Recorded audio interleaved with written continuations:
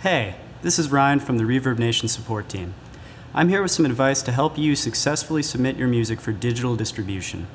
Most digital music stores, like iTunes, have strict requirements for what they will and won't accept from digital releases. But if you follow these guidelines, your release will be available for your fans in no time. In this video, I'll cover basic information about rights ownership, size, quality, and content of cover art, and featured performer attribution.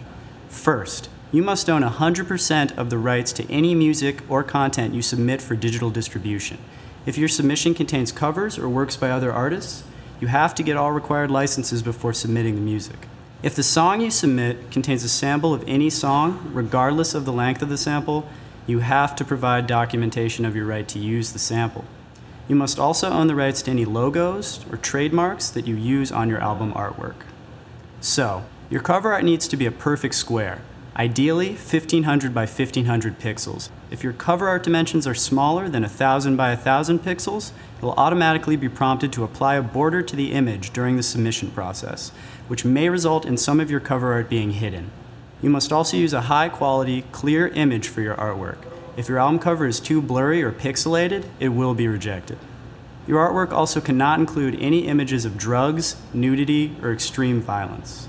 The only text you can display on your artwork is your album title, any special guests, artist name, and record label. This text must match the release details you provide. Don't include websites or logos on your cover art. Another common mistake is to list contributing artists in your song titles.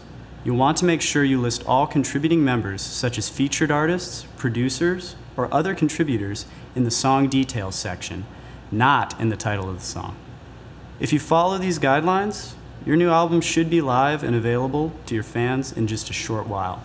If you have additional questions, feel free to contact us at support at reverbnation.com or visit reverbnation.com and review the digital distribution section of our FAQ page.